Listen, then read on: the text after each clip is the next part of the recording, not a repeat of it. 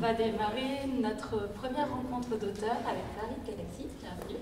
Bonjour et merci pour euh, cet accueil. Euh, on va peut-être euh, commencer par une petite présentation. Allez, allons-y. D'où tu viens Comment en es-tu arrivé là Quel est ton parcours? Alors, est-ce qu'on fait comme la chanson Je me, je, je me présente, je m'appelle Henri. Je voudrais. non, alors voilà, quoi dire? C'est vrai que je suis argenteuil. On va commencer par là, puisque nous sommes à Argenteuil. Donc, euh, j'ai grandi moi aussi dans cette euh, médiathèque qu'on appelait avant bibliothèque, ou même sur celle qui avait sur la dalle, effectivement. Voilà, donc j'ai travaillé de nombreuses années sur la ville d'Argenteuil.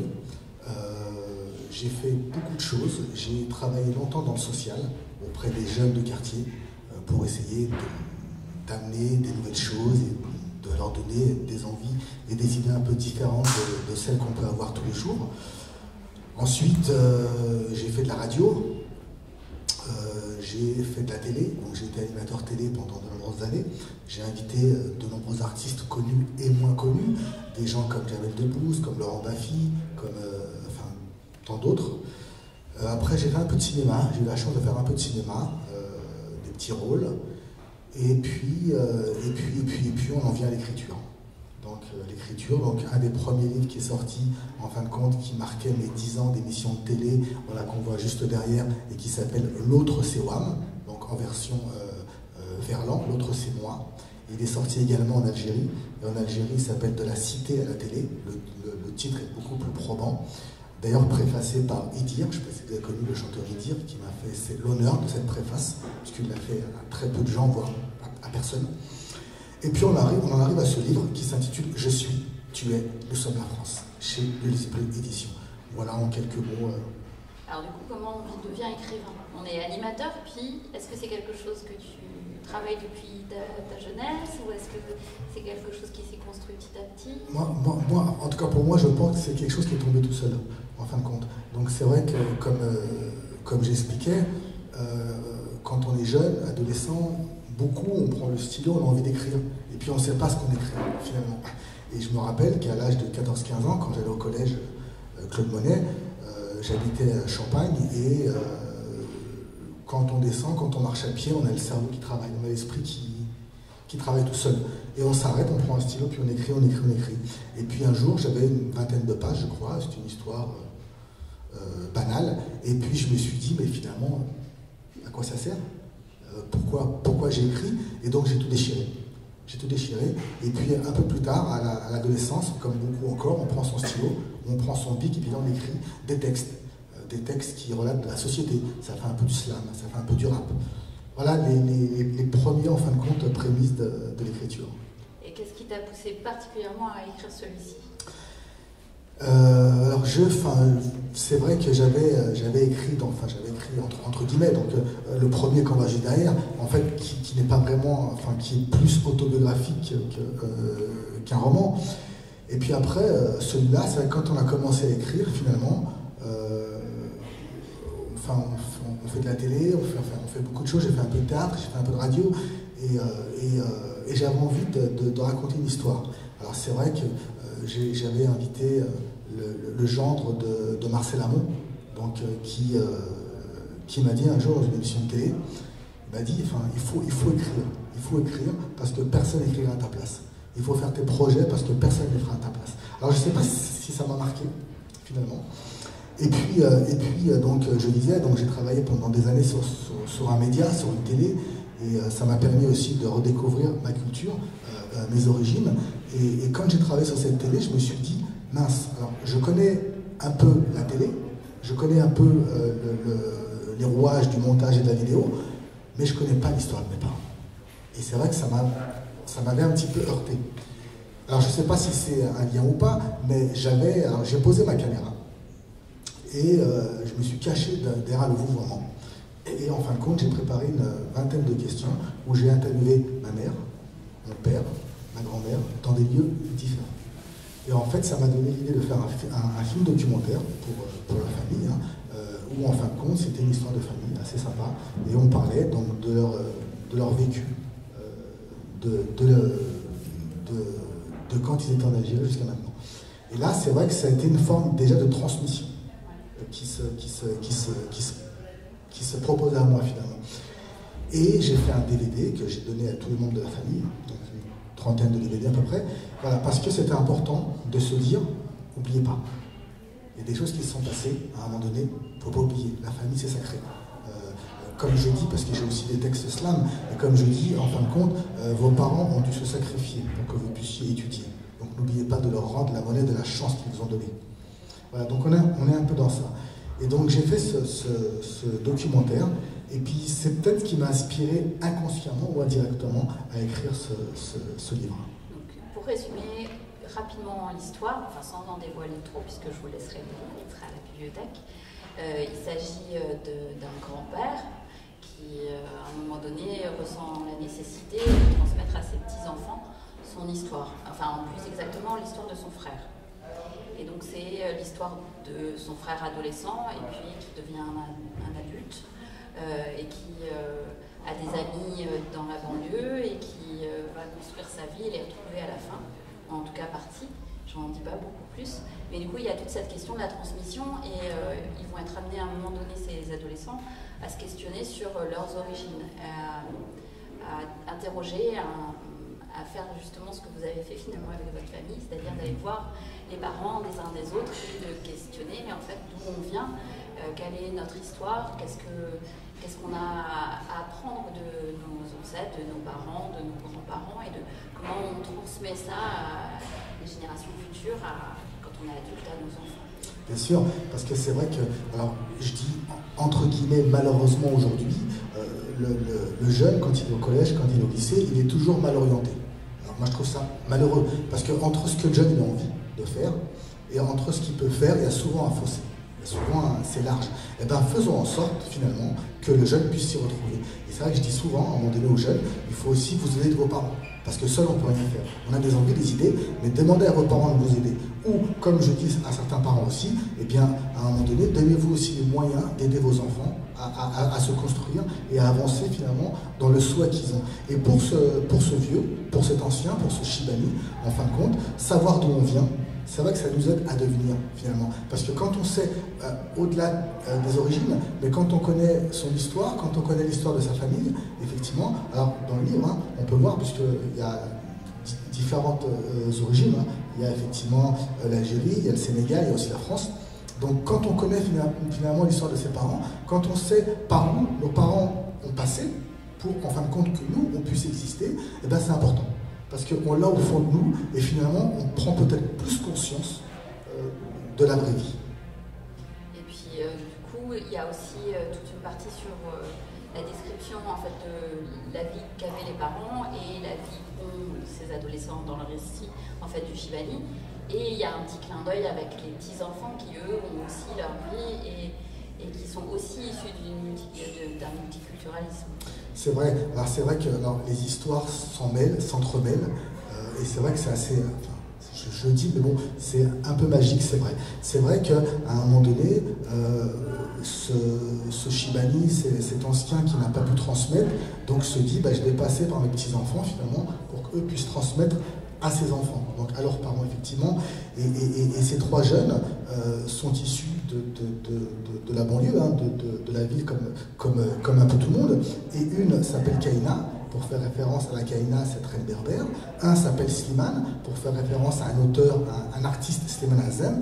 Et puis un s'appelle Jules, parce qu'il est issu d'un mariage mixte. Et le Shibani, qui veut toujours donner un sens à tout, se dit peut-être pour faire référence à Jules César. Et effectivement, ces petits-enfants, finalement, sont alertes et vont, se, vont, poser des questions tout au long de, du moment où le Shibani va raconter son histoire. Et donc, c'est assez interactif. et du coup, ce qu'on perçoit dans votre écriture, et ce qu'on a changé, c'est tout le regard bienveillant qu'il peut y avoir à la fois sur euh, les, différentes cultures, sur la jeunesse et son évolution à différentes tranches d'âge, et euh, aussi sur le futur, sur ce à quoi ils vont être confrontés. Voilà, moi je pense qu'en tout cas, euh, la bienveillance, on en parle, elle est de rigueur. Je pense qu'aujourd'hui, euh, la, la, la, bienveillance, c'est un, petit peu, un petit peu pour moi en tout cas les clés du cadenas à un moment donné. C'est vrai que la vie est difficile. À un moment donné, ça va dans tous les sens. Et c'est pas simple. Mais euh, c'est peut-être nous aussi, à un moment donné, qui faisons en sorte que cette vie est difficile. Et quand on y met un peu de sel, un peu de poivre, un peu d'ingrédients, en fin de compte, et qu'on n'oublie pas que la bienveillance est important, qu'en fin de compte, ben, quand on a des gens en face de nous, c'est important d'être bienveillant, de discuter, d'être ouvert, de manière à recevoir effectivement les mêmes choses. Et ce Shibani, ce vieux, cet ancien, voilà, il se dit aujourd'hui, c'est ce dont on a besoin, c'est le bien vivre ensemble. Du coup, comment on en vient à construire un récit comme ça? Dans quelles conditions Est-ce que c'est le soir euh, à la chandelle ou est-ce que c'est un texte continu Est-ce que le récit est déjà construit avec un plan ou est-ce que les personnages te racontent leur histoire? Alors ça a été, euh, ça a été, un, peu, ça a été un peu décousu pour ce, roman. Ça a été même très long. Euh, entre l'idée de départ et la finalité, il y a eu quelques années, je crois. parce que quand on commence à écrire, on ne sait pas où on va. On ne sait pas ce qu'on fait finalement. Et puis, et puis quand j'ai commencé à écrire, dans mon esprit, je partais carrément dans un film. Donc, euh, euh, c'est vrai que euh, ce que me disait mon éditeur, les personnages sont assez forts, ils ont de l'épaisseur, et c'est vrai que ces personnages, il faut les imaginer. Et j'avais envie de leur donner une âme à ces personnages, de vraiment les faire vivre. Et donc, en fin de compte, ça n'a pas été simple, parce qu'au moment où on pose, en fin de compte, les premières lignes, il se passe du temps, et puis moi, dans mon esprit, je partais dans un film. Et, bon, alors quand on écrit un livre, hein, on le fait corriger bien sûr plusieurs fois par des gens compétents, etc. Et là, on m'a dit, mais tu sais, euh, attention, parce que là, on écrit un livre et pas un film. Et dans un livre, finalement, il faut que le lecteur puisse comprendre et avancer euh, au fur et à mesure. Alors, à un moment donné, moi, c'est vrai que dans l'histoire, je partais carrément sur une scène forte, à un moment donné, un peu comme au cinéma, et qui renvoyait après, en fin de compte, à d'autres choses un peu plus cool, qu'on puisse comprendre euh, le, cheminement. Et là, on m'a dit non, un roman, c'est autre. Donc, ça a pris beaucoup de temps. Après, on écrit aussi, enfin, au feeling, en fonction de son état. Même si c'est vrai que certains le font, on est arrivé aussi de le faire, de se dire, voilà, là, je case en fin de compte un moment pour travailler, eh ben oui et non. Parce que des fois ça passe et des fois ça passe pas. Donc en fin de compte, c'est pas évident parce que des fois ça vient tout seul. Comme dans tout projet, hein. comme quand on fait un projet, comme quand on fait, je sais pas, euh, euh, comment dire, quand on fait à manger, on a des envies, des idées, en fin de compte, eh ben, elles sont là tout de suite. Donc moi ce que je fais, je prends mon téléphone, je note, je note, je note, je note, je note, tout, ce qui, tout ce qui me vient, tout ce qui me passe, tout ce que j'ai envie, et après je remets et je, je, je, fais une petite salade et ça, ça donne ça. D'accord. Et du coup, il y a une fuite de prévu Alors, alors, il y a, effectivement une suite. C'est vrai que comme j'avais commencé à sortir ce, premier livre, c'était chez mon premier éditeur euh, qui sont les éditions du, bout de la rue. Et en fait, euh, ce second livre, j'avais prévu de le faire aussi avec ce premier éditeur. Et donc, elle a commencé à travailler avec moi sur le, livre. Et là, elle m'a dit, mais tu sais, en fin de compte, réfléchis bien parce que... Euh, les gens qui vont lire le livre, les lecteurs, vont te demander, en fin de compte, que deviennent tes personnages. Donc tu devrais commencer à te poser la question sur la suite. Voilà, donc effectivement, euh, il y a une suite et il y a quelques lignes qui sont déjà couchées euh, sur, le, sur les pages. Du coup, sur ton travail d'écriture, est-ce que ce premier roman a, a changé ta façon d'écrire Ou est-ce qu'on est vraiment dans quelque chose qui se suit? Non, bien sûr qu'il a changé la façon d'écrire. Parce que quand on écrit. Alors, Bon, quand je parle du premier, c'est vrai que c'est autobiographique, hein, donc c'est plus la retranscription finalement d'une auto-interview. Puisque dans le, dans le, premier, il y a un livre, il y a un DVD. Donc on est parti du DVD pour en arriver au livre. Là, c'est différent. Alors oui, c'est beaucoup plus simple aujourd'hui euh, que ça l'a été, parce qu'avec l'expérience et, avec en fin de compte euh, tout ce qui se passe, c'est beaucoup plus simple. Donc c'est beaucoup plus fluide, effectivement. Et tes personnages, tu repars de celui-là et tu prends directement la suite, ou est-ce que on peut redémarrer le deuxième euh, indépendamment Alors, on peut redémarrer le deuxième indépendamment, mais il y a tout de même des flashs. Il y a tout de même des flashs. Après, après euh, c'est aussi une manière de se dire, eh bien, c'est vrai que, par exemple, la première page du, prochain, en fin de compte, alors je ne sais plus comment je le dis, mais euh, j'explique en fin de compte que, que si vous n'avez pas pu découvrir les personnages du premier ouvrage, finalement, euh, vous pouvez tout de même dans cet ouvrage-là les découvrir, mais si vous voulez en savoir plus, eh bien, il faut, il faut prendre le premier, effectivement, pour les découvrir en profondeur. Donc on peut, on peut mais il y a des flashs. D'accord. Et euh, alors du coup, flash, ça me fait rebondir. Il y a, le texte, il est écrit beaucoup avec des temps différents, c'est-à-dire qu'il y a le temps du grand-père qui raconte à ses petits-enfants, il y a le temps euh, du récit de la période adolescente avec les trois adolescents, et il y a la période où ils sont devenus adultes et où ils reviennent aussi un peu sur leur adolescence. Euh, et ça se croise. Oui, ça se croise. Et ça, c'est pareil. Est-ce que ça a été écrit tout de suite comme ça ou est-ce que c'est quelque chose qui s'est remis en place dans un deuxième temps? Non, non, ça a été écrit comme ça, mais ça a été très, très, très difficile. Parce qu'à un moment donné, il ne faut pas se perdre. Et, c'est vrai que si on ne fait pas attention, on se perd dans le temps. Et on ne sait plus à, quelle période on est, on ne sait plus dans quel temps on est, donc ça n'a pas été simple. Mais euh, quand j'ai commencé à écrire, euh, on m'a dit, donc dans les personnes qui corrigeaient à chaque fois, on m'a dit, mais tu devrais quand même enlever des personnages euh, pour plus de simplicité. Et j'ai fait, ouais, mais c'est dommage, parce qu'à un moment donné, ces personnages, ils ont de la vie. Et si on les enlève, moi j'avais un peu les boules quand même. Donc je voulais les garder, ces personnages. Et c'est pour ça que c'était très difficile, parce qu'il fallait vraiment que, le lecteur ne se perde pas. Ça a été la, chose à faire. Donc tous les personnages sont restés Ils sont tous restés. Ils sont tous restés. Il a même fallu que je donne un peu plus d'épaisseur à certains personnages que je n'avais pas forcément pensé, euh, parce que bon, qui sont pas, enfin, qui sont pas eux dans la bienveillance, parce que alors dedans, c'est vrai que quand on écrit un livre, à un moment donné, il faut penser à tout le monde. Euh, et, euh, et quand on parle du jeune et quand, et quand, et quand on se dit que savoir d'où on vient, ça nous aide à devenir, là on s'adresse aux jeunes à un moment donné. Et pour s'adresser aux jeunes, il y a un langage particulier aussi. Donc il y a un peu, comme je dirais, il y a un peu de wesh wesh à un moment donné. Donc euh, voilà, il y a un peu d'humour, il y a un peu de jeu, et puis, voilà, puis il, y a, aussi un dialogue un peu plus, un peu plus soutenu. Et puis il y a, enfin ce, que, ce qui est chouette, je trouve, c'est qu'il y a à la fois un récit d'une histoire familiale, mais il y a aussi un petit peu une mini-enquête un peu policière, un peu... Ouais, alors ça, c'est vrai qu'on l'a souvent dit d'ailleurs. Euh, euh, c'était, c'est peut-être les médiathèques hein, qui, qui n'arrêtent pas de me pousser là-dessus, mais c'était effectivement, il n'y a pas longtemps, un besoin. On m'a dit la même chose, effectivement. Il y a une histoire, il y a une enquête. Il y a une enquête, et on m'a demandé si j'avais pris du plaisir, effectivement, à écrire cette enquête. Oui. Alors c'est vrai que c'est, voilà, il y a beaucoup de suspense euh, dans, dans, cette enquête. C'est vrai que c'est, et dans le prochain, on trouvera aussi. Parce que, voilà, parce que c'est vrai que, alors, on ne va pas tout dévoiler, mais par la force des choses, un des jeunes qui marchait sur le fil entre le bien et le mal, finalement, euh, le bien l'emportera et il deviendra euh, un des personnages importants. En fin de compte, il deviendra bon, un, flic, hein, tout simplement, un policier. Et, c'est vrai qu'en apportant cette bienveillance, je pense qu'elle est importante. Je pense qu'elle est importante et, c'est ce qu'il faut aujourd'hui. Alors c'est vrai que quand tu parles de bienveillance, le le récit bascule jamais, euh, que ça soit d'un côté ou de l'autre, c'est-à-dire du côté des jeunes ou du côté euh, des jeunes devenus adultes, euh, qui font entre la vision sur la banlieue et les difficultés rencontrées par ces adolescents et les adultes qui deviennent, pour, un des personnages policiers, il y a toujours un regard positif sur quel que soit le devenir en fait de ces jeunes. Moi je pense que, enfin, je pense que c'est ce Shibani alors, pour information, Shibani, c'est vrai que je n'appelle pas Shibani dans, le terme exact. En fin de compte, les Shibani étaient euh, les gens qui arrivaient d'Algérie dans les années. Euh, voilà.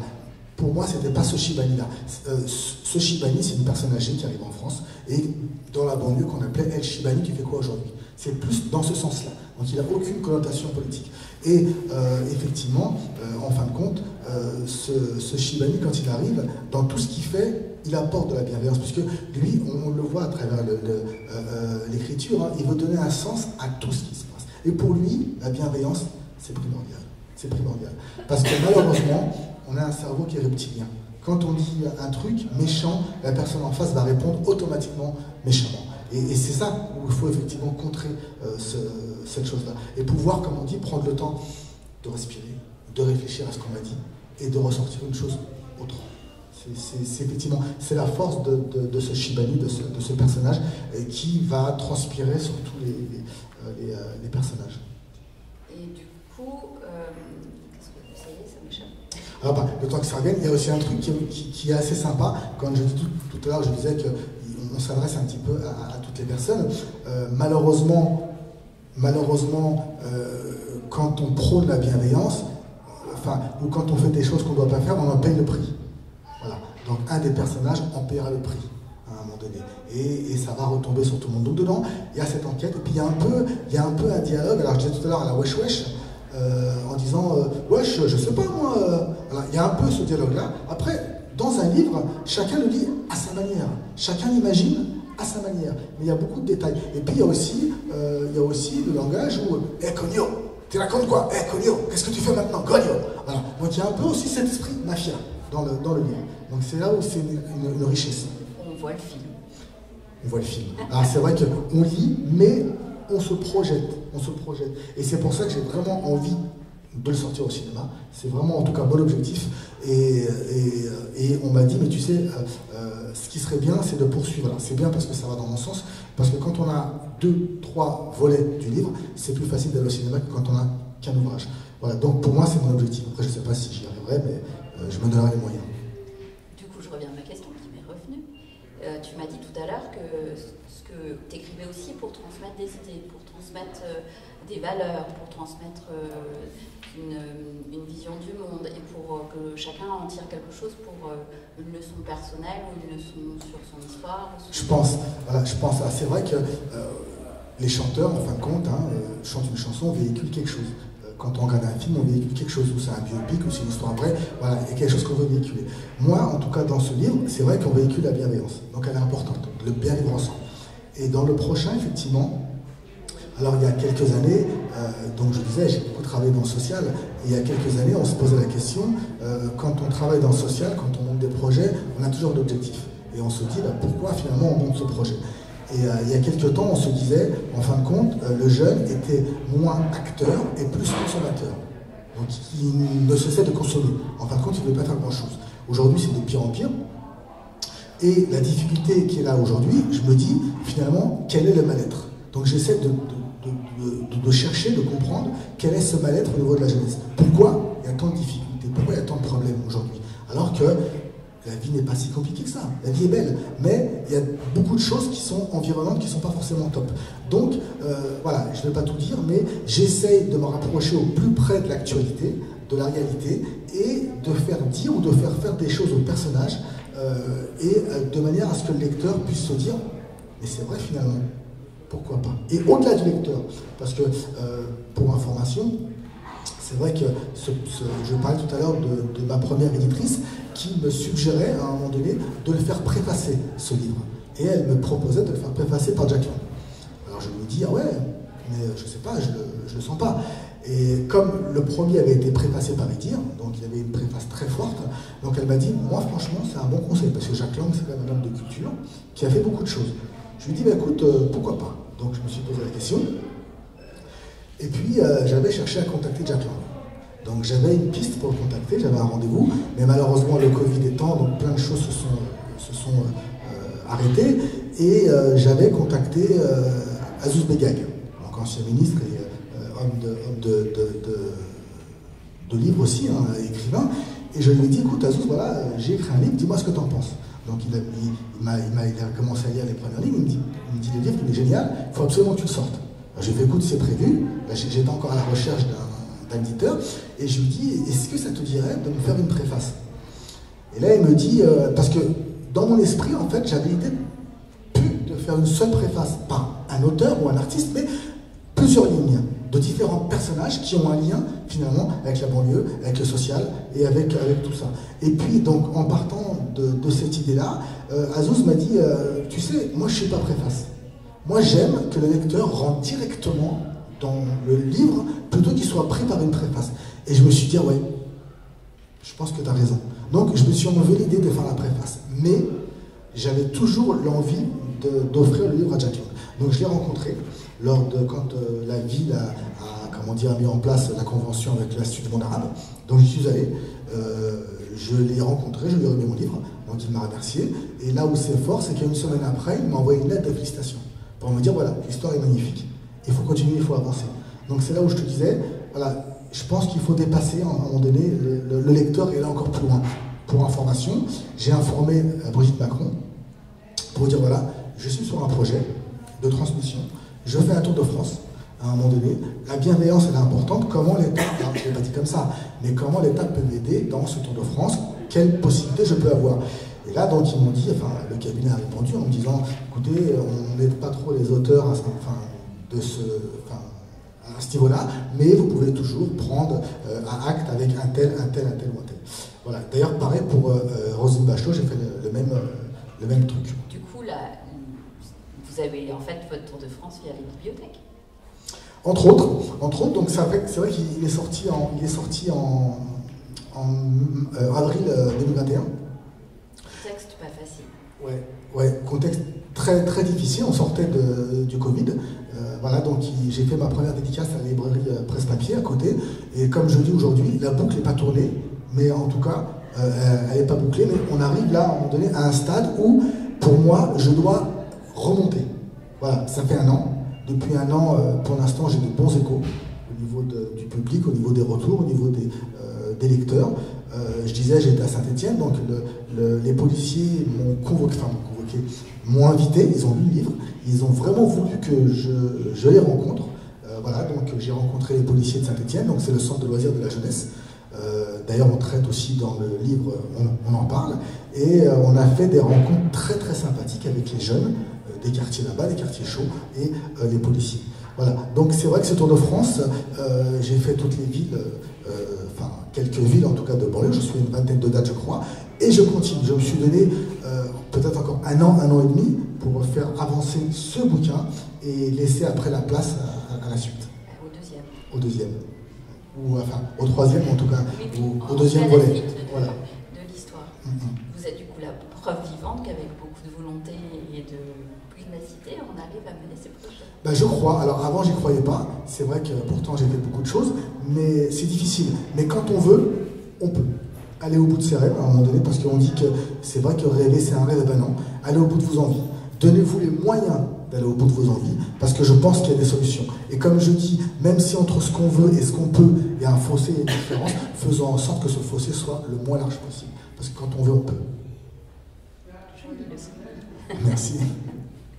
Euh, est-ce qu'il y a du coup des questions est-ce que ça a soulevé des questions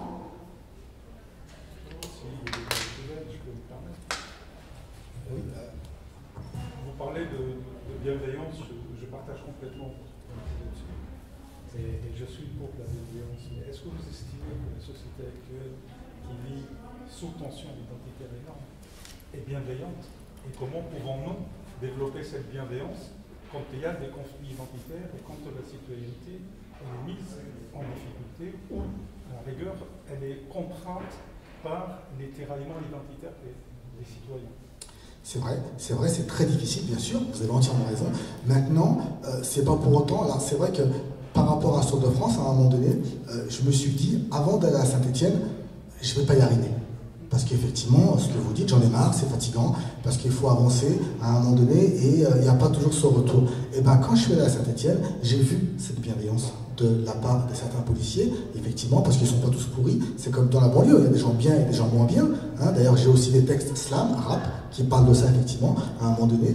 Et je pense qu'on peut, malgré cette difficulté, malgré cette difficulté, alors c'est vrai que là, j'en suis à peu près à 21, à 21 dates, et je me dis, des moments comme ça, ils sont riches. Parce qu'on en parle, vous en parlez, et vous en reparlez, et vous en reparlez, et vous en reparlez. C'est comme ça que ça avance à un moment donné. Après, après c'est vrai qu'on en parle dans le bouquin, on a aussi la chance d'avoir dans les villes, euh, notamment Argenteuil, entre autres, euh, des mairies de quartier, des centres sociaux, à un moment donné où les familles se rencontrent, où des projets se créent. Ça aussi, c'est des moments importants. On en parle dedans. Et ça, ça permet aussi, à un moment donné, essayer de décloisonner. Mais c'est pas simple. C'est pas simple. Alors, où on ferme les yeux, effectivement, et puis chacun va se démerde. C'est pas simple. Hein. Je comprends tout à fait, moi, qui, vous parle. Moi, j'ai quand même euh, une vie professionnelle de 38 ans de, travail social dans le domaine de l'immigration et politique publique dédiée à l'immigration et euh, à l'hébergement et l'accompagnement des demandeurs d'asile. Donc, euh, les conflits d'identité, les doubles appartenances, tout ça, je connais. Mais je suis j'observe la société, comment elle évolue. Et aujourd'hui, moi, j'ai besoin aussi qu'on sorte un petit peu, excusez-moi le terme, du politiquement correct, qu'on essaie un peu de mettre les gens en face de leurs responsabilités et de leur dire assumez votre citoyenneté, assumez votre statut de citoyen et devenez un citoyen actif pour que les choses changent. Parce qu'aujourd'hui, on a tendance à attendre que les choses changent d'elles-mêmes pour qu'on puisse prendre le convoi du changement, or que nous sommes des acteurs du changement, mais la majorité essaye simplement de, se mettre un petit peu la tête euh, sous l'eau en disant bon ben, le changement il vient, s'il ne vient pas, ben, c'est que je ne suis pas considéré. Et il y a beaucoup d'acteurs aussi qui ont de l'importance, et je pèse mes mots, qui, qui développent la victimisation. Oui, oui, alors qu'on est pour oui, bien sûr, bien sûr. Mais je pense que là, c'est une bataille. Euh, c'est une bataille. Et à un moment donné, alors c'est vrai que, moi je dis en tout cas, ces moments, ils sont importants. Quand on voit aujourd'hui le dialogue sur les réseaux sociaux, c'est vraiment du n'importe quoi. C'est assez violent. Voilà, tout à fait, parce que les gens ont besoin de s'exprimer. Je disais, quand on était à Beson, il y a une personne qui avait un besoin de s'exprimer, qui était complètement à l'inverse de ce qu'on disait, mais il avait besoin de s'exprimer. Il avait besoin de s'entendre dire qui n'était pas bien, qui avait vécu des choses, effectivement, qui n'étaient pas forcément bien. Donc les gens ont besoin, effectivement, de s'exprimer. Et quand on crée comme ça, des, rencontres comme ça, c'est là où il y a une richesse. Voilà. Mais après, il faut effectivement contrôler les choses, ne pas dépasser les limites et surtout se respecter les uns et les autres. Oui, mais le, respect se développe. Euh, je, suis un lecteur, je m'excuse oui, monopoliser la parole, c'est un sujet qui me et ça, ça résonne euh, particulièrement avec le livre. et, j'apprécie cette rencontre parce que ça permet quand même d'échanger et, d'essayer un petit peu d'avancer dans ce que nous, faisons en tant que citoyens. Moi, je suis un lecteur assidu, j'aime beaucoup euh, euh, Abdelmalek Sayed, qui est un sociologue de l'immigration et qui a travaillé énormément avec Pierre Bourdieu. Donc, Pierre Bourdieu, il a développé aussi le déterminisme social d'après l'appartenance identitaire et d'après le milieu social, tout ça, la société condamne. Quand Michel Trébala dit que la société assigne à résidence identitaire certaines, certaines catégories de la société pour les empêcher d'avancer. On leur rappelle toujours leurs origines et leur identité pour leur dire, bon, attendez, vous êtes de tel lieu, tel lieu, restez-y. Donc vous n'avez pas, entre guillemets, le droit d'avancer vers tel ou tel, tel statut. Donc c'est ça aussi le problème, c'est qu'il faut décloisonner la société, il faut que les gens essayent simplement de prendre la responsabilité de dire je suis acteur social, j'ai ma contribution, je suis un citoyen, je m'assume en tant que tel, et voilà comment je conçois ma vie au sein de la cité. je pense que peut-être pour euh, juste porter un peu sur ce point, alors vous avez raison bien sûr, et pour vous dire, il y a une personne à Saint-Etienne, effectivement, deux personnes même qui avaient besoin, là encore c'est autre chose, de s'exprimer, de dire effectivement leur ressenti. Maintenant, vous l'avez dit, c'est important, on s'assume, on doit s'assumer à un moment donné. Peu importe d'où on vient, qui on est, on vit en France, on se pose, on a des envies et il faut s'assumer. Alors après, après c'est pas simple parce que malheureusement, des fois, on est pris par beaucoup de choses qui nous, qui, qui nous emportent telle une tempête. Mais ça, on n'en veut pas. Et pour rester debout, encore une fois, je le redis, il y a des moments comme ça. Alors, on peut aussi passer par l'artistique, par le théâtre, par le chant, par les rencontres. Il y a ce qu'on appelle aussi, c'est marrant parce qu'on en parle aussi dans, le prochain bouquin, un peu aussi dans celui-là, il y a ce qu'on appelle aussi le théâtre forum. Une idée comme ça, qui me vient tout simplement. Voilà, on est là, ensemble, et ben on va, en, fin de compte, on va, on va euh, comment dire, donner un thème bien précis. Voilà, ce dont vous avez parlé. On donne ce thème-là, on l'explique, et on donne la parole aux gens. Et les gens le vivent, le, racontent à leur manière. Et là, après, on débat, effectivement. Mais pour en arriver là, il faut que les gens puissent s'entendre, s'écouter et se respecter. Et c'est pas simple. Mais c'est aussi difficile pour moi. Hein. Ce Tour de France, franchement, je me bats parce que c'est pas simple. Mais on doit le faire. C'est un, débat qui, normalement, à mon sens, en tant que citoyen, c'est un débat qui doit vraiment faire partie de l'actualité. C'est un débat qu'on doit mener aujourd'hui, plus que hier, plus que demain.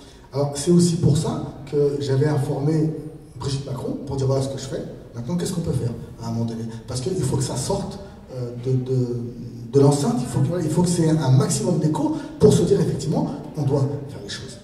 Mais après, on est tous les uns et les autres effectivement responsables et on se doit d'avancer. Je peux du coup rebondir. Euh, ce qui apparaît dans le texte et répond vraiment à cette problématique, enfin cette question de comment on fait des choix et comment ces choix impactent notre futur, notre vie. Euh, et comment ça peut tourner d'un côté ou de l'autre. C'est vraiment le sujet du livre. Et après ça, je voulais aussi revenir sur euh, la place du micro, du coup, puisque euh, là on parle de chacun apporte une voix, une, vision des choses, une, vision de son origine, de son histoire. Et donc c'est aussi un des fils, on en discutait juste avant, c'est un des fils rouges de, de ton parcours, puisque finalement en passant d'un livre et des rencontres avec un micro, euh, on, est sur cette parole qui se transmet et c'est quelque chose que tu me disais existe dans ta vie depuis un petit moment. C'est vrai, c'est vrai, on parlait, on parlait de ce fil conducteur qui effectivement qui m'amène à, ce qui, se passe aujourd'hui. Effectivement, il y a la jeunesse et la banlieue. Hein, disait de moi que je magnifiais à la fois la culture et la banlieue, euh, qu'elle soit d'ici ou d'ailleurs, effectivement, et puis il y a le micro, donc ce fameux micro qu'on a dans les mains qui est encore là, avec moi finalement. C'est vrai que euh, ce micro, euh, j'ai été animateur euh, radio à l'époque des radios libres. quand j'ai organisé mes tournois de foot à la ville d'Argenteuil avec les jeunes des quartiers, j'avais un micro pour effectivement valoriser les choses. Et à la ville d'Argenteuil, je suis aussi animateur micro. donc c'est vrai que ce micro, finalement, il, me suit, il est en moi finalement. Oui. oui.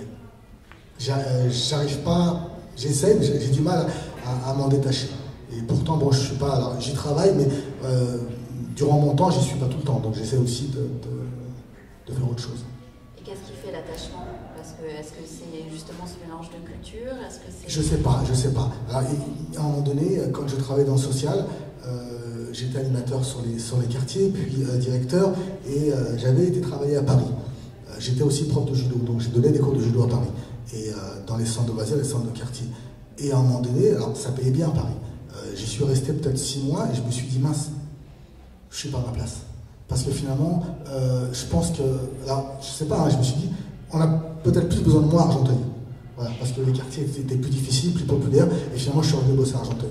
Donc je ne sais pas quel est réellement l'attachement. C'est vrai qu'il disait, je parle beaucoup d'Argenteuil. Alors dans ce premier livre, voilà, je parle beaucoup d'Argenteuil.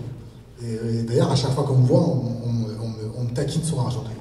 Alors là, la ville n'est pas citée Non, je ne voulais pas la citer, mais en fin de compte, quand, on, quand on, voit euh, la banlieue nord de Paris, on peut se projeter. Parce que, alors, euh, c'est vrai qu'on en parlait en fin de compte pour la préparation de, ce, de cet entretien. Le, enfin, il n'est pas du tout autobiographique. Il n'est pas du tout, du tout autobiographique. Néanmoins, ce qu'on pourrait penser? Ce qu'on pourrait penser. Et c'est ce qu'on m'a dit, hein, les lecteurs me l'ont dit, hein. parce que voilà, parce que c'est tellement vrai, en fin de compte, j'ai tellement donné d'importance et d'épaisseur au personnage qu'on y croit. Après, il y a des choses qui sont vues, qui sont vécues, à un moment donné, peut-être pas directement. Et, euh, et, et c'est là où, en fin de compte, c'est important. C'est vraiment important. Du coup, ton vécu, ton histoire nourrit les livres et inversement. Voilà, je, pense, je pense. C'est ce que j'ai ce que j'ai vu ou ce que j'ai imaginé aussi, parce qu'à un moment donné, il faut aussi, il faut aussi donner un peu de, chaleur et d'humour à, l'histoire. À un moment donné, c'est vrai que tout à l'heure je parlais, j'essaie aussi de mettre de l'humour et d'amener un petit peu un discours où les jeunes pourraient s'y retrouver. Alors on parle de, on parle de, finalement de, savoir d'où on vient, ça nous aide à devenir. Alors une des scènes euh, euh, du livre, donc il y a Caroline, Jamel, Osman, c'est trois amis d'enfance hein, qui ont euh, vécu ensemble, pourtant trois origines différentes, habitant dans des quartiers un petit peu différents d'une ville de banlieue. Et en fin de compte, ils avancent tant bien que mal. Et, c'est vrai que Caroline est là pour faire en sorte de garder un équilibre. Parce que malheureusement, les garçons, souvent, voilà, ils marchent entre, le bien et le mal, et ça serait bien de les récupérer à un moment donné. Donc c'est pas simple. C'est pas simple, et, et ils ont toujours des idées pour avancer, malgré que les deux garçons font un petit peu euh, les 400 coups. Et, à un moment donné, euh, elle part parce qu'elle a de la famille du côté d'Aix-en-Provence, donc elle s'en va en vacances, égoïstement, parce qu'à un moment donné, elle ne voulait pas partir. Elle avait peur pour ses amis. Elle se dit, bah, écoute, j'en ai marre, je pars euh, chez mes parents en, vacances. Et puis elle part, et bah, quand elle revient, voilà, c'était pas évident parce que les garçons ont fait un peu par la force des choses, hein, pas méchamment. Et puis à un moment donné, elle revient et puis elle leur dit, vous savez, euh, j'ai une idée. On va faire un projet. J'ai une idée. Et là, euh, donc les gars, ils sont un petit peu euh, à la renverse. Et elle dit aux gars, est-ce que vous savez d'où vous venez? Alors il y a Osman qui dit, je, ouais, je viens de chez moi, là, à côté. Et là, tout le monde se met à rigoler. Et là, elle dit, mais attends, soyez un peu sérieux, les gars. Est-ce que vous savez d'où vous venez Est-ce que vous savez d'où vous venez Et là, il y a Jamel qui commence à, réfléchir et qui dit, ah ouais, ouais, je commence à comprendre finalement. Et là, Haussmann commence à comprendre et il dit, wesh, euh, alors comme ça, wesh, euh, ma mère elle vient de Bretagne et mon père il vient de Sénégal. Je, moi j'en sais pas plus. Et, euh, et Jamel il fait, ouais, moi je sais, mais j'irai pas voir ma famille pour en parler. c'est pas évident. C'est pas évident. Et, et là, en fin de compte, dans la réflexion, Jamel se dit, j'ai trouvé. Mais je vous dirai pas quoi. Voilà, j'ai trouvé. la suite à dire dans le Voilà, donc c'est ça. Il faut mettre un peu d'humour, il faut mettre un peu de, un peu de, bienveillance. C'est un petit peu une salade, hein, en fin de compte, où on essaie de mettre les bons ingrédients. Alors comme vous dites, hein, c'est pas simple, hein, mais moi, c'est ce que je vais véhiculer. Le reste, j'essaie de, Je dirais pas que je m'en fous, parce que c'est important de comprendre, mais il faut passer euh, voilà, les, les bonnes idées, la bienveillance et la positive attitude. Et je crois que c'est ce qui nous fait avancer. Et sinon, c'est compliqué. Du coup, le choix, parce que finalement, euh, si on trouve que c'est assez autobiographique, même si ça ne l'est pas, c'est aussi parce que c'est réfléchi comme euh, une histoire racontée de quelque chose qui pourrait être réel. Et c'est euh, le choix de la fiction et pas d'un documentaire. Oui, oui. C'est vrai que j'ai des, retours hein, des lecteurs de différentes origines, différents horizons, qui m'ont dit effectivement, je m'y retrouve. Je, m'y retrouve. J'ai vécu des choses à un moment donné qui sont similaires. Donc voilà, oui, parce que c'est issu. Alors c'est, peut-être plus vrai que nature. c'est peut-être voilà. Mais, euh, mais euh, comme on dit, la réalité dépasse peut-être la fiction. Parce que ça aussi, j'en parle dedans. Et quand on voit le drame qu'il y a dedans, c'est vrai que la réalité dépasse la fiction. Dans, dans, dedans. Voilà, j'essaie de donner un sens finalement et une réalité à ce qui se passe. Euh, c'est comme, enfin, voilà, j'essaie quand, quand j'écris, comme quand je faisais des émissions de télé, quand je m'adresse à vous, j'essaie d'être le plus vrai possible à un moment donné et de donner euh, euh, de l'émotion et, et, et, de la sensation à ce qui se passe et de respecter le lecteur, le téléspectateur ou l'auditeur qui est là, c'est important. Et à partir de là, on peut faire beaucoup de choses. Raconter des histoires. Voilà. C'est raconter une partie du rêve. Voilà. Ouais. C'est un petit peu ce qui fait, ce qui fait le, le, le charme, en fin de compte, hein, des, des, choses. Voilà. Donc, je suis, tu es, nous sommes la France. C'est vrai qu'à l'intérieur, hein, on y retrouve euh, toutes les origines. C'est pour ça que le titre est, il est important pour moi en tout cas. C'était important. Que... Alors le titre, il n'est pas arrivé tout de suite. Hein. Euh, généralement, quand on écrit, on n'a pas le titre qui vient tout de suite. Le titre qui vient après. Comme là, le, celui que je suis en train d'écrire, le titre, je l'avais pas. Maintenant, je l'ai. Je vous dirai pas. Hein. Mais, euh, mais maintenant, je l'ai. Parce qu'il est arrivé, finalement, il s'est proposé à moi. Tout simplement. Comme celui-là. Au fur et à mesure de l'écriture Voilà, ouais, parce que plus on écrit, et plus. Alors, bien sûr, on se dit automatiquement, mais quel titre je vais mettre? On y pense, bien entendu. Et puis après, un petit peu comme un brainstorming. On pose des mots et on voit ce qui va ressortir en fonction du contenu. Voilà, parce que c'est en fonction du contenu. Et là, ce titre, il est vraiment probant parce que quand on le lit, voilà, il y a toutes les origines. Le sénégalais, le français, la Bretagne, l'Algérie, la Tunisie. Il y a, euh, comment dire, un personnage qui a les origines juives. Voilà, on y retrouve vraiment toutes les origines et le bien-être et la bienveillance. Et c'est ce qui est important. Et du coup, parce que je sais que dans les rencontres d'auteurs qu'on peut avoir, parfois le titre est décidé par l'éditeur. Est-ce que cette fois-ci, elle a... Du tout. Alors c'est marrant, mais les deux titres, les trois, trois bouquins que j'ai faits, puisque l'autre est sorti aussi en Algérie, non, c'est moi qui ai proposé. Et euh, jusqu'à maintenant, euh, je ne savais pas que les, les, les, éditeurs imposaient un titre. Alors après, il est peut-être, alors c'est peut-être aussi une proposition de, de titre. Hein. Voilà, c'est une proposition, puis après qui réfléchit ensemble. Mais si le titre de l'éditeur est plus probant, pourquoi pas? Il ne faut pas non plus rentrer dans. Euh, par exemple, à un moment donné, c'est vrai que dans ce livre, dans ce livre, euh, je reparlais tout à l'heure de Idir, donc il m'a fait une belle préface, et donc Père son âme, et c'est vrai que euh, ce qu'il a écrit sur moi, on le retrouve aussi dans le livre. Et je m'étais dit, peut-être que, bon, vu qu'il m'a autorisé cette préface, peut-être que je pourrais la mettre dedans. Dans l'envie, l'éditeur m'a dit non. Il m'a dit, c'est du réchauffé. Il m'a dit, tu l'as fait sur le premier, c'est pas la peine de le remettre dessus. Voilà, et donc il avait raison. Donc tu vois, j'ai aussi écouté en fin de compte ce qu'il me disait, et je suis pas parti bien en tête pour aller. Euh, alors peut-être que des fois, effectivement, c'est un, une, discussion euh, d'un commun accord qui peut se. Est-ce que, est que ton éditeur, du coup, a accès au, l'écriture en cours, ou est-ce que c'est vraiment une fois que Non, alors malheureusement, les éditions sont très, très, très, très, je le dis, hein, difficiles. Euh, j'ai eu du mal. parce que j'ai au début, j'avais écrit, je l'ai envoyé à beaucoup d'éditions, notamment les grosses éditions. Et les grosses éditions, on m'a dit, j'avais une amie qui travaillait dans l'une d'elles et, qui, m'a dit, elle l'a fait, parce qu'elle me connaissait, elle l'a fait lire au comité de, de, lecteurs. Et en fin de compte, elle m'a dit, c'est une belle histoire, mais malheureusement, ça ne rentre pas dans l'orientation de la d'édition. C'est ça, aujourd'hui, la difficulté. Il faut que ça rentre dans leur réseau. C'est pas évident. Donc cet éditeur-là, eh ben, c'est euh, euh, Enfin, aujourd'hui, on est vraiment dans le, beaucoup dans le numérique et malheureusement, on, s'éloigne un petit peu de ce côté bienveillant dont je parle. Et, l'éditeur, pour te dire, je ne le vois pas. Je ne le connais pas. Même si j'ai eu des, mails ou des appels téléphoniques avec lui, mais c'est très distant, très très distant. À la différence de mon premier éditeur, où je le voyais souvent, où on avançait ensemble, où il y avait vraiment une cohésion de travail. Là, non, c'est moi et moi. Donc si je veux avancer, j'avance, si je veux arrêter, j'arrête. C'est ça la difficulté aujourd'hui des, éditions. En tout cas, ce que je peux en ressentir. Ouais. Et du coup, euh, dans, tu écris sur euh, l'ordinateur directement? Est-ce que tu écris à la main? Est-ce que... Non, la main c'est fini, je crois. et puis non, alors après, oui, oui, alors oui, alors j'écris bien sûr à l'ordinateur et, tellement je suis feignant, comme je disais tout à l'heure, je prends mon téléphone, je parle je, dicte en fin de compte les idées, je dicte même des fois des scènes, hein, parce que la scène elle est là, et je me dis mince, faut pas qu'elle parte. Parce qu'une fois ou deux, j'avais l'idée, et j'ai fait mince, et j'avais les boules parce qu'elle est partie. il fallait que je la recherche.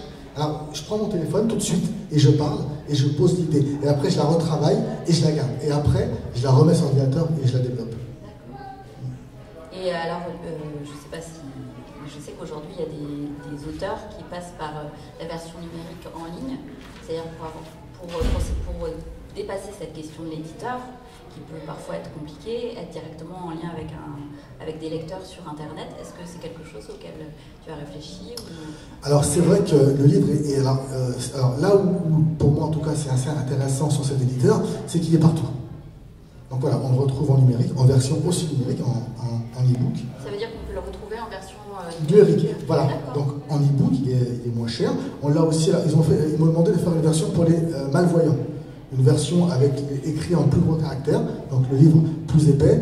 Et euh, j'ai un ami, euh, en, recherchant, donc en, tapant mon nom sur Internet, il l'a retrouvé finalement au Japon. Il l'a retrouvé dans différents sites euh, référencés dans différents pays du monde. Donc voilà, c'est là où c'est une richesse. Et puis pour répondre un petit peu à ta question, je ne sais pas si je vais aller au bout parce que je, fatigue un peu, mais, mais l'envie est là. tout à l'heure, je disais de donner, en fin de compte, une âme au personnage quand on lit vraiment, les personnages, il y a une âme. Et euh, on revient au micro. J'ai envie de poser ma voix sur les personnages. Voilà. Parce qu'aujourd'hui, le livre audio marche de mieux en mieux. Voilà. Parce que euh, les gens ont la flemme de lire, donc ils écoutent à différents moments de la journée, dans la voiture, en travaillant, en faisant le ménage, ils écoutent. Et donc l'idée, en tout cas, est là. L'idée est là. Euh, maintenant, là encore, il faut rentrer dans, une case pour avoir un éditeur. C'est pas évident. Mais en tout cas, j'ai la possibilité et les conditions pour le faire. Donc, l'idée est là. L'idée est là. Après, c'est vrai qu'au niveau, euh, je parlais tout à l'heure que l'idée est de sortir en film, mais il existe aussi la fiction audio. Ça, c'est tout nouveau. Où, en fin de compte, on peut très bien poser, faire poser les personnages, mais uniquement en version audio. Voilà. Ça, fonctionne plutôt bien. Voilà. Donc, les idées sont là. Je ne sais pas où je vais aller. Mais en tout cas, pour l'instant, l'idée, je pense, c'est le film. Après, je ne sais pas où j'irai, hein, mais j'ai des contacts, je connais des gens dans le milieu, j'irai dans ce sens-là. Après, je ne dis pas que j'y arriverai, hein, mais en tout cas, j'essaierai. Suivra tes aventures et tu viendras nous J'essaierai. D'ailleurs, pour information, j'ai un ami argenteuillet qui s'appelle Jean-Claude Flamand, Jean-Claude Barney plus précisément maintenant, euh, qui a sorti plusieurs films pour le cinéma et je l'avais amené au cinéma argentin pour qu'il présente son film. Voilà, donc voilà, il est déjà aussi dedans. Il y a plein de gens qui sont dans le but du cinéma et l'idée est vraiment d'avancer et d'aller dans ce sens-là. Merci beaucoup. Ben, je t'en prie. Est-ce que, est que vous avez quelques questions complémentaires L'expression wesh wesh, je l'ai entendu, mais ça veut dire quoi Moi je crois que c'est une expression. C'est une expression. Euh... Oui, Pardon non, wesh wesh, pour moi en tout cas c'est l'expression. Euh, par exemple, euh, je vais vous dire, euh, je vais vous dire avec beaucoup d'humour, hein. wesh madame, vous l'achetez ou pas? Wesh. Voilà, c'est simplement une expression, wesh. C'est voilà, c'est une expression pour moi. C'est wesh, est, wesh, il est il faut, faut qu'on monte.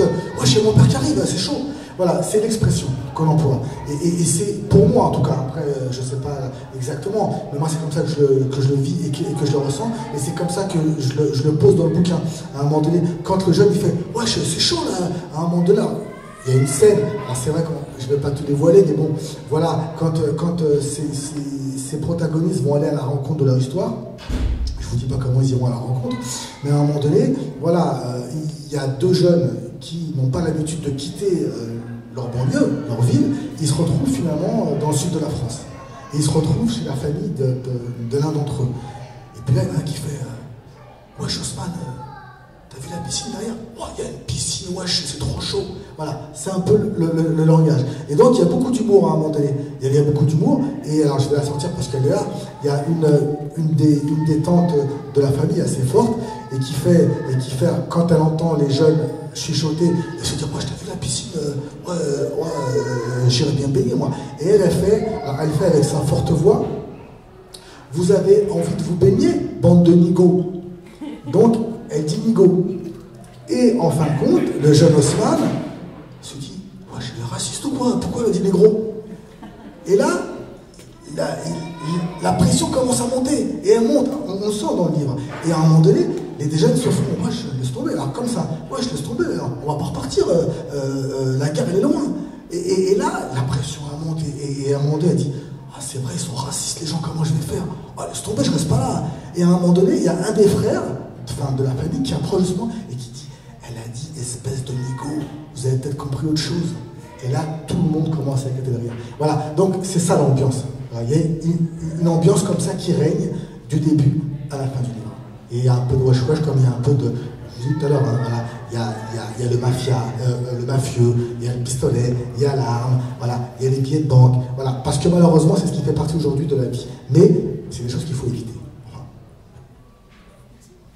Voilà. Vous avez une question, non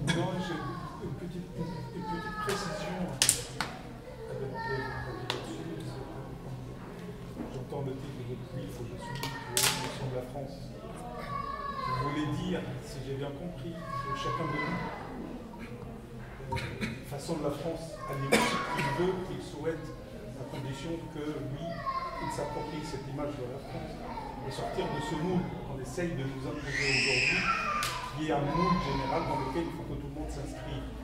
Moi, la France, c'est ma France, c'est celle que j'imagine, c'est celle que je me suis façonnée, c'est celle dans laquelle je me reconnais, pas celle qu'on essaye de m'imposer parce que je suis de double culture, euh, j'essaye d'être euh, sur mes deux jambes, en équilibre sur mes deux jambes, c'est ce que tout le monde doit avoir comme idée dans la tête, c'est-à-dire la France lui appartient, il la façonne à son image, il se l'approprie et il essaye de vivre avec en fonction de ses origines, de sa culture et en fonction aussi de son mode de vie. Je crois que c'est un peu ça, et de son envie. Moi, il y a un jour, il y a, lors de rencontre dédicace à Paris, il y a une dame qui m'a dit, en fin de compte, alors dans quelle case, dans quelle case le livre est rempli Et j'ai fait, moi, j'ai pas de case. Moi, je rentre pas dans une case. Je fais ce que j'ai envie comme j'ai envie, avec la liberté que j'ai envie, à un moment donné. Donc voilà, je dis, je fais ce que j'ai envie de faire. Parce que c'est ça la liberté, avec beaucoup de respect bien sûr pour euh, l'environnement et les gens qui sont là. Moi, je rentre pas dans une case à un moment donné. Parce que, euh, et, c'est pas parce qu'on est d'ici ou de là-bas qu'on doit rentrer dans une case. Non, respecte simplement le pays où tu es, euh, parce que c'est important à un moment donné quand tu vas à l'étranger. Moi, je, me souviens, quand j'étais jeune, je suis parti en Algérie. Et à un moment donné, en étant en bord de plage, et j'avais 10-11 ans, j'étais en short, et je dirais pas que je m'en foutais, mais à un moment donné, je comprenais pas. Je comprenais pas pourquoi il fallait mettre un t-shirt alors qu'on avait 10 ans et qu'on était au bord de la mer à un moment donné. Il y a des choses comme ça. Eh ben non, respecte bonhomme à un moment donné. Respecte à un moment donné, c'est important. Quand on part en vacances, quand on part dans un pays étranger ou autre, respecte le pays, respecte les gens qui travaillent, parce que c'est pas simple. Quand, pour parler de l'Algérie, quand on voit par exemple qu'il y a beaucoup de gens aujourd'hui, euh, et pourtant ils ne sont pas si blindés que ça, mais qui partent en Algérie avec des grosses voitures, euh, avec, avec euh, l'euro, parce que l'euro est fort, et qu'ils arrivent là-bas, ils jouent les rois, je leur dis, bonhomme, en France, n'est pas grand-chose. Pourquoi tu vas jouer les rois là-bas? Respecte les gens qui sont là-bas à un moment donné respecte. Moi, par exemple, pour information, je me souviens que euh, quand j'étais jeune à la maison, au village, on faisait cuire de la viande. Et ça sentait. Et ben, je ne pouvais pas la manger. Parce qu'il y avait des petits qui tapaient à la porte et qui avaient envie de manger la viande. Moi, j'arrivais pas à la manger. Parce que pourquoi nous, on peut manger de la viande Parce qu'on vient de France, parce qu'on a de l'argent, et parce que quand on fait le change, eh bien, on devient encore plus riche. Eh ben non, non, respect et partage. Voilà. Donc quand les gens ont compris ça, effectivement, mais c'est pas simple, hein. c'est très difficile. Hein. Mais en tout cas, c'est ce que moi je vais véhiculer. Après, ce que les gens en pensent, voilà, chacun pense qu'il a envie, mais moi j'avance dans, dans, mon concept. Est-ce que vous avez présenté ou est-ce que vous allez présenter votre livre et votre discours les collèges, dans les lycées? Vous êtes invité? Alors, j'ai pas encore fait la démarche parce que c'est vrai que je fais beaucoup de choses. À un moment donné, il faut que je prenne le temps. Il faut que je prenne le temps. D'ailleurs, j'ai- l'envie effectivement de le faire. Euh, je suis en piste avec Morsang Sororge, effectivement, donc euh, euh, une personne que je connais qui travaille à la qui va me mettre en lien. Alors, bien sûr que l'idée est là. L'idée est là. Après, comme, comme j'expliquais lors des rencontres dédicaces, le discours est différent quand on s'adresse à vous ce soir ou quand on s'adresse à un public jeune. C'est pas le même discours à un moment donné. Et quand on a un public, ça m'est arrivé, qui est mixte, le, discours est aussi autre. Parce qu'on n'est pas là pour, pour brusquer, pour frustrer à un moment donné, mais pour avancer. Pour dire aux jeunes que on peut quand on veut. Par exemple, à Saint-Etienne, il y a un jeune qui a fait rire tout le monde, et il a dit Moi, j'aimerais bien être espion. Tout le monde a rigolé. Mais quand on réfléchit finalement au fond, espion, c'est pas si compliqué que ça, en, fin de compte. Euh, c'est vrai que, alors on disait, on l'a vu là par rapport à la, guerre qui est entre l'Ukraine euh, et- la Russie, il y a un espion aujourd'hui qui ressort, qui est passé sur tous les médias et qui avait une fierté de dire Moi je suis espion et pourtant eh ben, j'ai été à l'Assemblée, et pourtant j'ai fait, j'ai fait l'ENA à un moment donné. On lui a expliqué aux jeunes. Voilà, il est là aujourd'hui. Donc quand on veut, on peut. Après, on lui a dit, Eh, c'est trop tard, hein, tu t'es cramé. Parce que maintenant que tu l'as dit, on va te reconnaître. Enfin bref, donc quand on veut, on peut. Oui, il y a un discours à passer dans les collèges, bien sûr. Euh, après, j'ai mon, j'ai mon frangin qui est, prof dans les collèges. Je pense qu'il y a, des choses à faire. Mais après, euh, il faut qu'il y ait une volonté, mais je vais aller dans ce sens-là, bien sûr. Quand on veut, on peut, quand même quelque chose qui m'a surpris moi, parce que ça fait une quarantaine d'années que j'habite à Argenteuil, je viens de Reims, j'ai plutôt envie de dire que je suis lyonnaise qu'argenteuillaise, même si j'ai plus vécu à Argenteuil qu'à Lyon. À une certaine époque de ma vie, donc, euh, je, me, suis inscrite en faculté, et c'était très difficile d'entrer, de choisir la faculté que je voulais parce que j'habitais à Argenteuil. Et c'est, je crois, toujours la même difficulté aujourd'hui, 40 ans après. Alors, ça, qu'est-ce que vous en dites? Qu'est-ce qu'on, peut faire? On n'a rien changé tout depuis 40 ans. Non, mais il faut contourner. Il faut contourner à un moment donné. Il faut se battre. Moi, je donne un exemple concret. Moi, bon, je parle pas trop de moi, mais bon, là, malheureusement, vous me poussez. Euh, j'ai, ma fille, en fin de compte, euh, qui euh, voulait faire une fac de sport à un moment donné.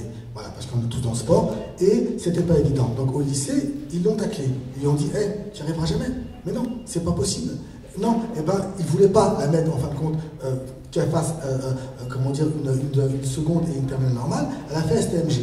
Donc c'est une, une- voie un peu plus simple, qui est différente. Et elle est à la, elle est- à la fac.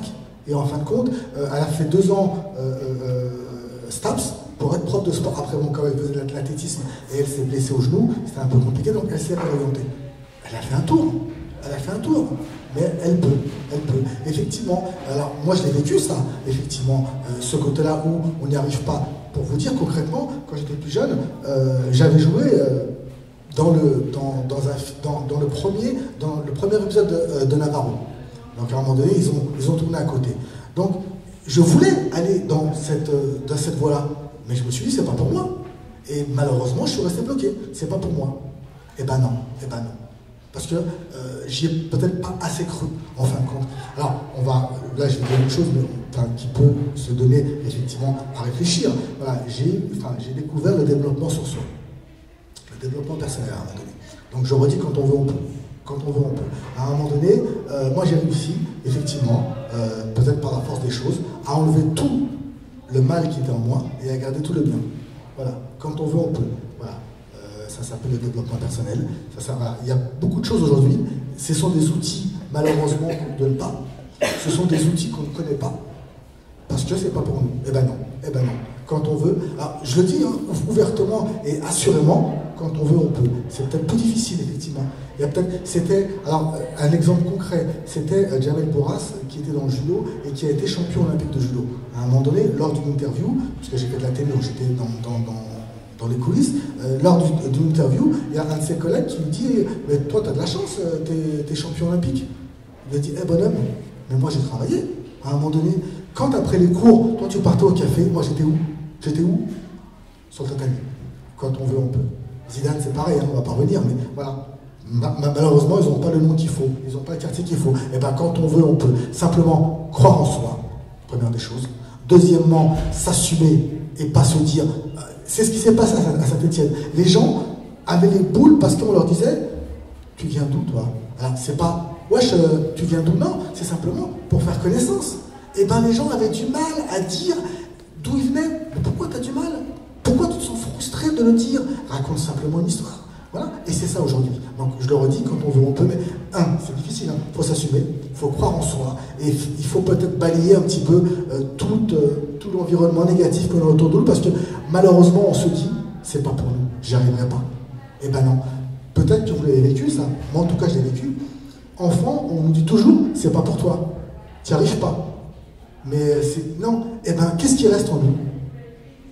Il reste ça, j'y arrive pas. Moi, je me souviens, quand j'étais jeune, euh, voilà, je m'amusais à, taper sur la table, euh, voilà, je m'amusais à, taper des rythmes. Et euh, ma grand-mère me dit, elle dit, t'as vu, c'est bien ce qu'il fait. Hein. Ma tante a dit, mais non, il fait n'importe quoi. Qu'est-ce qui m'est resté? Ben non, il fait n'importe quoi. Et ça, et ça bloque. Le cerveau bloque à un moment donné.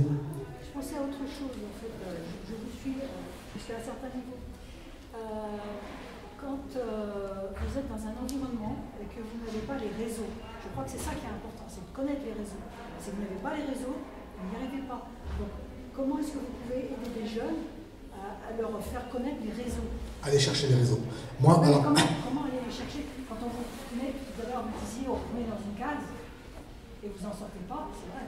Mais bien sûr que c'est vrai. Mais les réseaux, comment arriver à les, à les connaître et, à rentrer dedans? Une partie des réseaux se trouve euh, dans, les, dans, dans la ville, en fait, aussi c'est-à-dire euh, les maisons de quartier, les médiathèques. Euh, il y a sur chaque territoire. Est-ce qu'on donne cette information aux jeunes Il faut aller la chercher. Il faut aller la chercher. Il y a Internet. Il faut aller la chercher. Moi, là, par exemple, j'ai beaucoup de jeunes qui me demandent, euh, qui me posent des conseils. Je leur donne. Alors, je vais chercher, moi, et je leur donne des liens. Aujourd'hui, alors, bien sûr que on ne donne pas les réseaux, parce qu'il y a des réseaux qui sont puissants à un moment donné. Bien sûr qu'on ne rentre pas.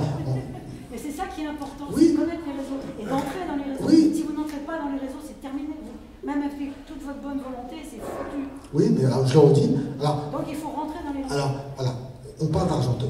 Moi, j'ai travaillé longtemps à Argenteuil. J'ai eu des, des, jeunes qui étaient, quand je m'occupais du conseil municipal des jeunes. Je vais vous parler de deux jeunes. L'un a monté euh, la dictée pour tous. Vous n'avez peut-être entendu parler de la dictée pour tous, qui a fait le tour du monde. D'accord Il est arrivé comment Moi, je me souviens, je l'avais. Hein, et il était là, dans, dans une salle, et il me disait euh, Je lui apprenais à comment monter un projet, comment monter un tournoi de foot, comment organiser. C'est petit à petit, ce sont des réseaux.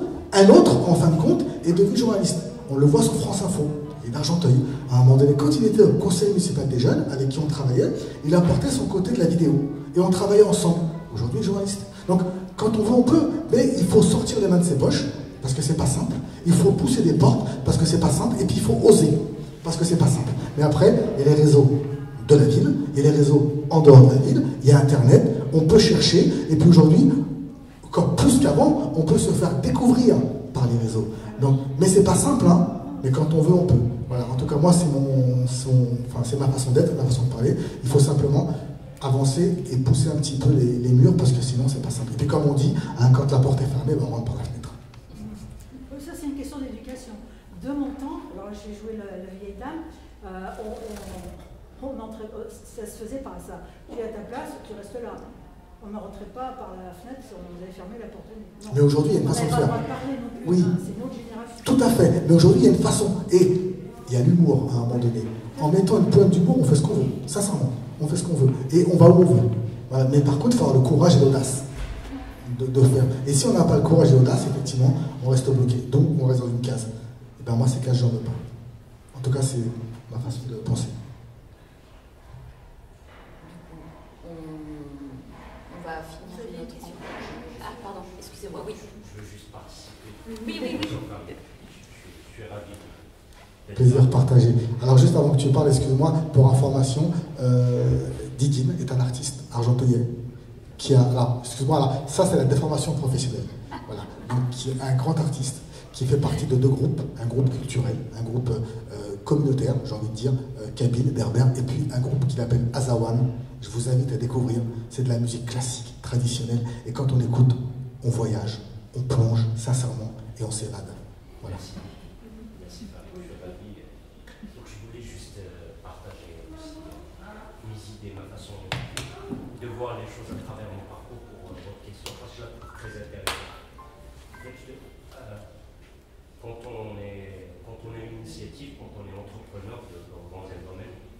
la question qui revient tout le temps, c'est il faut connaître tel, il faut avoir du réseau, etc. Moi j'étais étudiant, donc j'ai passé deux, ou trois années à chercher ce réseau, à chercher à rencontrer du monde, etc. pour pouvoir faire ma musique ou la notion de réussite euh, pour, euh, à, plusieurs sens. La notion de réussite. En quelque sorte, pour réussir, pour avoir le réseau, etc. Et un jour, donc, je, à ce moment-là, je prenais beaucoup de le train, donc j'avais une guitare électrique parce que je ne faisais pas, je ne dérangeais pas les gens parce qu'elle n'était pas branchée. C'est comme ça que je pouvais jouer un peu dans Je ne pouvais pas euh, jouer à la maison parce que je, je faisais je dérangeais euh, l'entourage, etc. Donc je travaillais comme ça mon, mon doigté, etc. Et un jour, je vois un monsieur qui était dans le train, donc j'étais là, ne savais pas qu'il était euh, concentré, qu'il me regardait, etc. À un moment, il me dit C'est triste, monsieur. Pourquoi on n'entend pas votre guitare Et je lui ai expliqué que je ne peux, pas, je peux pas déranger les gens, etc. Il m'a dit, vous savez, enfin, il se trouve qu'il travaille en Afrique dans des multinationales. Il m'a dit, vous savez, il faut, faut casser la porte. Il ne faut, faut, pas attendre qu'on vienne nous, nous, chercher, etc. Donc ça m'a fait un déclic. Et le lendemain, c'était un déclic, je me suis dit, bon, à partir d'aujourd'hui, je ne cherche plus de contact, je veux connaître personne. Ah, je vais travailler tout seul. Donc, pour moi, la réussite, c'était ce qu'il y avait autour de moi. Je faisais avec ça. Et l'idée, c'est de, créer un son d'intérêt autour de soi avec ce qu'on a. C'est beaucoup de travail. Et au final, la réussite, c'est pas, c'est pas ce, cette, ce livre qu'on peut toucher physiquement, mais c'est aussi tout cet effort derrière d'arriver un jour à ce que les gens viennent parce qu'il y a un intérêt. On peut vous mettre dans un réseau incroyable où personne ne va comprendre ce que vous faites, vous ne saurez même pas comment exploiter les autres pour avancer Et si vous construisez quelque chose en se disant, voilà, c'est ça mon travail, si ça m'a réussi, voilà, la réussite, elle est là, enfin, oui, ce moment-là. Je ne vais pas attendre que Gallimard vienne lui proposer 2 millions d'euros pour faire ma vie. Mais c'est des choses comme ça. À, travers, à partir de là, je faisais mes petits tranquillement dans ma tête, j'attendais rien de ce soir. Et ceux qui aiment mon travail, vont venir me chercher, ça fait un réseau, après je rencontre des gens, etc. Et c'est un peu ça, cette idée de base, de partir de quelque chose, parce qu'on veut faire ça, parce qu'on aime faire ça, et c'est ce qui fait le meilleur réseau. Parce qu'après, les gens ils croient tellement en vous, ils vont penser que c'est grâce à ce réseau, mais c'est aussi grâce à votre talent, grâce à ces idées-là. Voilà, c'était juste. Euh, Croire en soi, et alors des choses. Et puis l'énergie, du coup, ça dégage, et ce que ça crée autour. Exactement. Exactement. Très bien. Tout à fait. Merci. Merci.